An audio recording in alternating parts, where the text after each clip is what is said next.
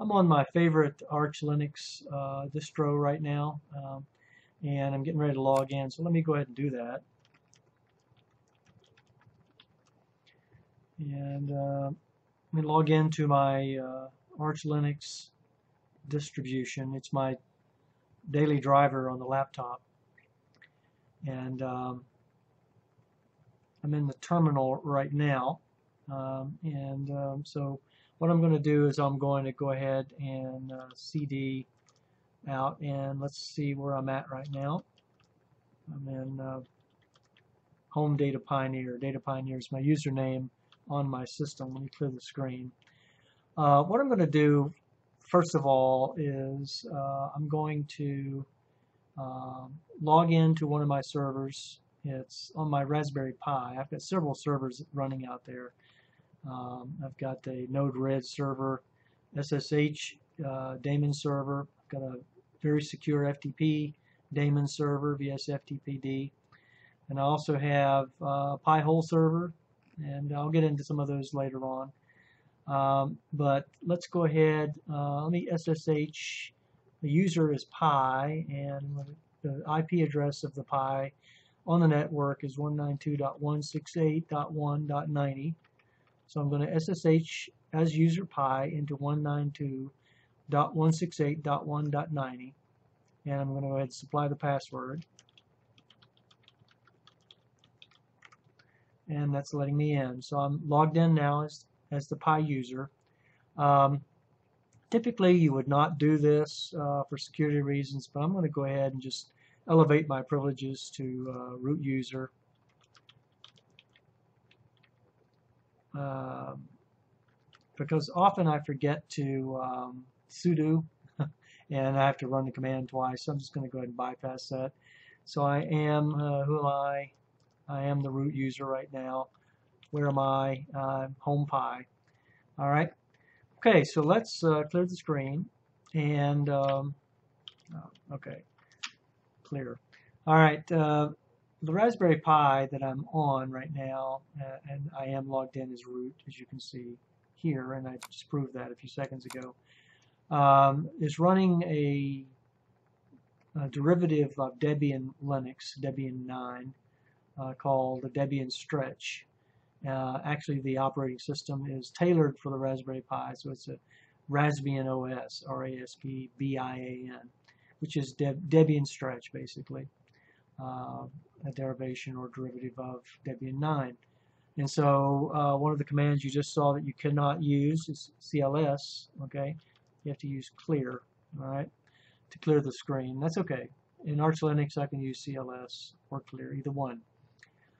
All right, so the file that actually controls uh, the operation of the SSH daemon server is a file that's out on CD, etc, uh, SSH and let me do a long listing of that and the file is called sshd underscore config. One of the ways that you can harden your SSH daemon server is to uh, configure, reconfigure rather, or change some of the settings in your SSH underscore daemon uh, SSH daemon underscore config file. And so let's take a look at that. I'm on the nano end of that. Uh, so let's go nano sshd underscore config. All right, and here it is. And so this is a file uh, that is an SSH underscore uh, daemon underscore config that is uh, in OpenBSD.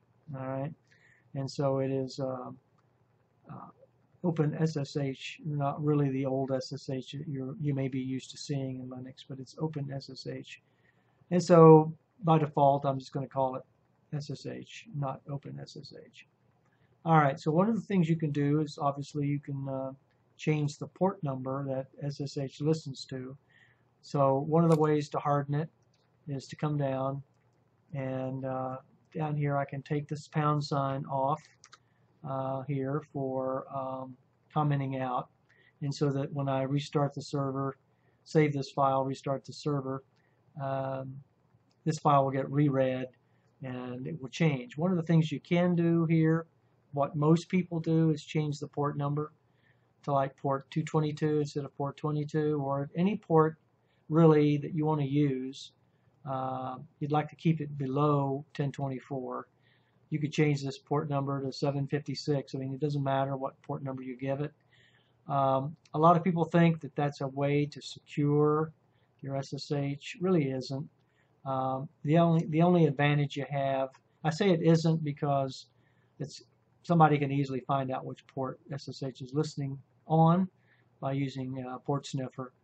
And so they just sniff it until it sees SSH running on port 756 so it's really not a way to get around a security problem uh, by doing that uh, but people do it anyway and you know for people that may not know that you can use a port sniffer and uh, locate the port that SSH is listening on uh, wouldn't know, and so that might stop them, but it's not going to stop everybody. So I, I really don't think that's an advantage here. Uh, one of the advantages, however, for changing the port um, is that you can reduce the amount of log uh, logs that are written here in the system uh, on the Pi or any uh, Linux system for that matter. The amount of information that gets logged in your um, uh, var log uh, would be reduced. Why? Because a lot of bots write to that log uh, when bots try to log into your SSH server.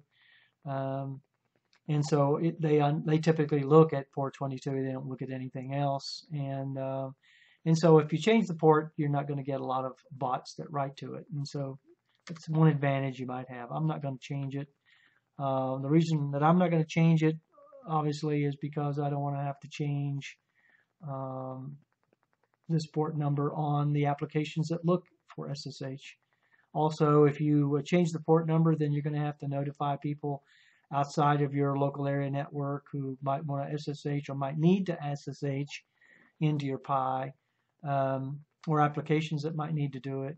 Uh, you're going to have to inform them of the changed port number. All right, and so just to leave it at 422 is fine. Down here, you can uh, you can even change uh, what address that SSH uh, listens on. I'm not going to modify that either.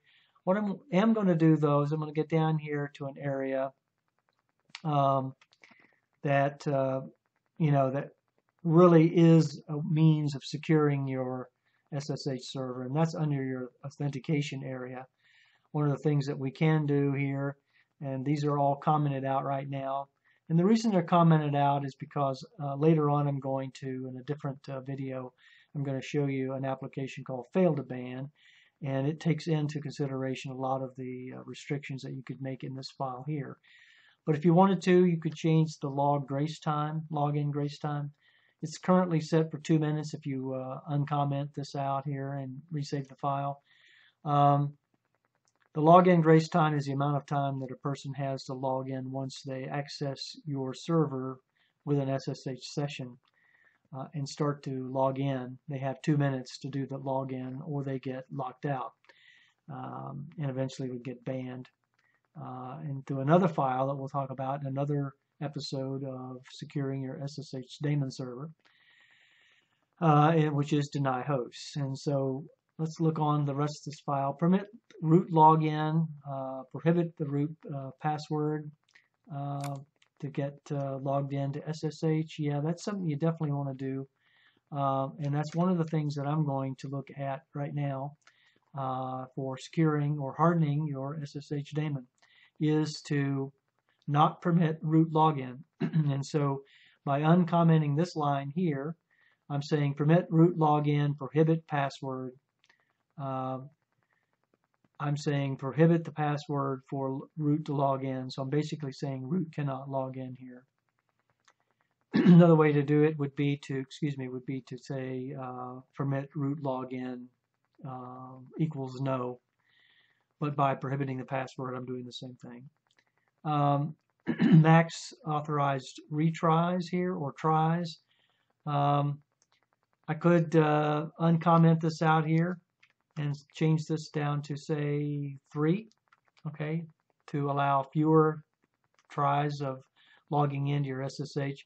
But I'm going to take care of that in the fail2ban, so I'm not going to need that. when I show you that later on in another video. So let's go ahead and comment that back out. Max number of sessions 10. Um, I'm going to leave that as the way it is. Uh, let's come on down and let's look at the rest of this file. So one of the ways that we've looked at now hardening the um, SSH daemon server is to uh, disallow root. And the reason for that, uh, as I mentioned uh, now, and I didn't mention earlier, is that a person does get access to your server. Um, if you prohibit root login, one of the ways that a person is going to, or a hacker is going to try to get into your SSH, obviously, is they're going to try the root user. And if they can get in, then guess what? They have they have uh, privileges. They're elevated automatically. So you want to prohibit that. And so let's go on down. Um, one of the other things that we want to look at here is something I added to this file. It wasn't here by default. And that is these three lines here. The first line is commented, is allow users and groups. And that's just a comment. Uh, allow users uh, will allow only specific users to log into your SSH daemon server here on the Pi.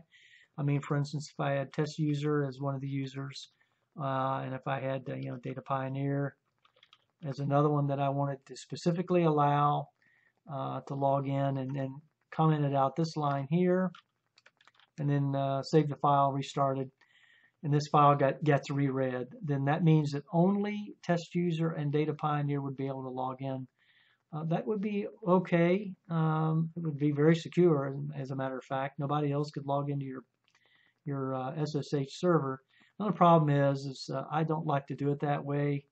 Uh, I would rather uh, assign people to groups, and then um, that way only a member of that group can log in. I think that's a better way of handling it. So let me comment that one out.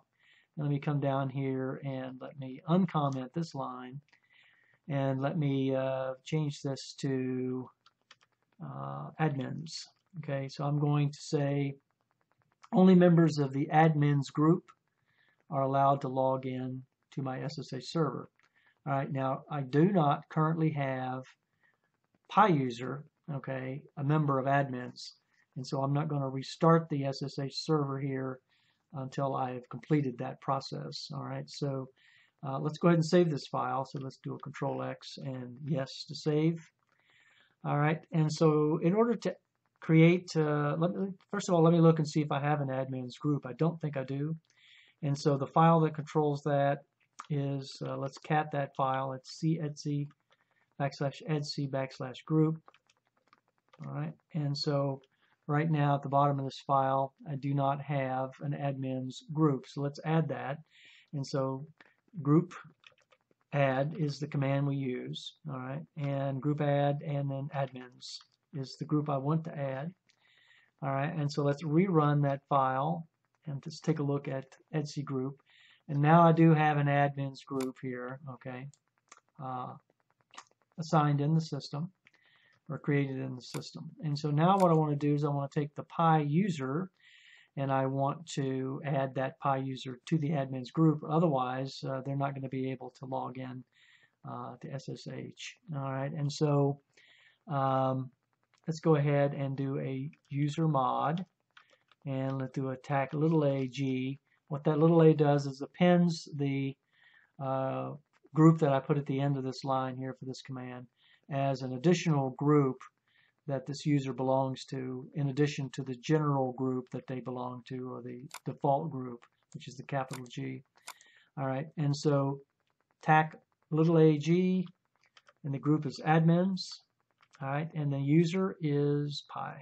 Alright so that should add pi to the uh, the uh, appended group of admins.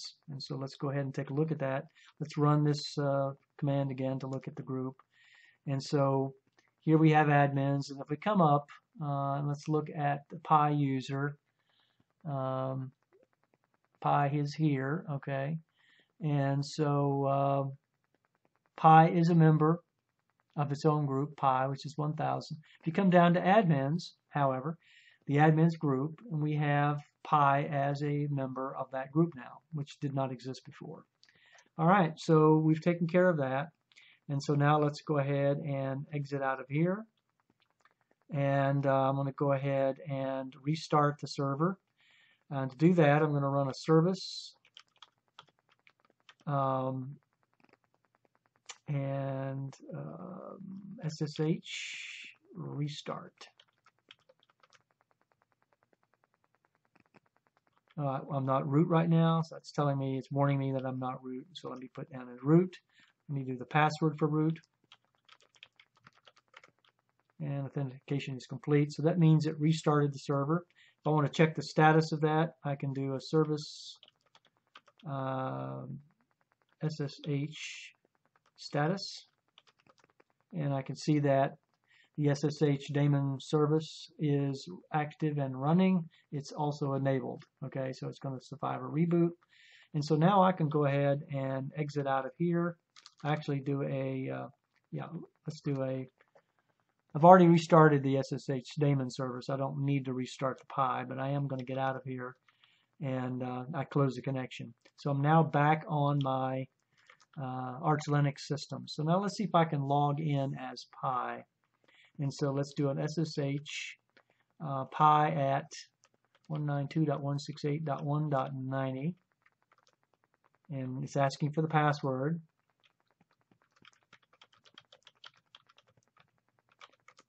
And I was able to log in. Alright, so I'm logged back in. Uh, so let's try to log in as a, another user of the system we know that's there. Uh, and that is test user because I uh, had test user up earlier. Let's see if we can get in as test user. All right, so let's go ahead and exit out of here. Get back to uh, Arch Linux. Okay, so let's go ahead and see if we can log in as test user, um, who's a member, not a member of the admins group, um, and see if we can get into the SSH server. So let's SSH, SSH test user at 192.168.1.90.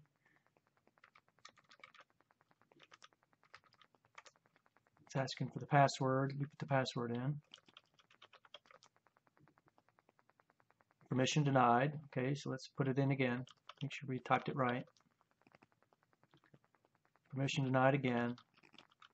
Alright, so it looks like test user has not been allowed to log into the SSH server because he's not a member of the admins group. So let's try root now because we also denied root access to the SSH server. So let's do SSH root at 192.168.1.90 and I know what root's password is for sure. Okay put that in and permission denied. Let's try it again. Okay one more time. Okay so it looks like both test user and root were denied access to the SSH server, which is exactly what we wanted to accomplish.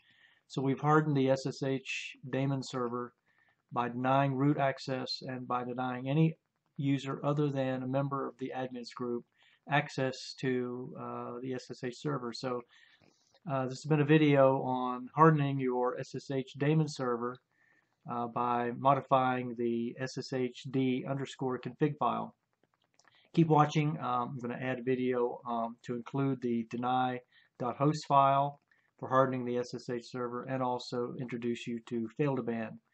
Have a good day.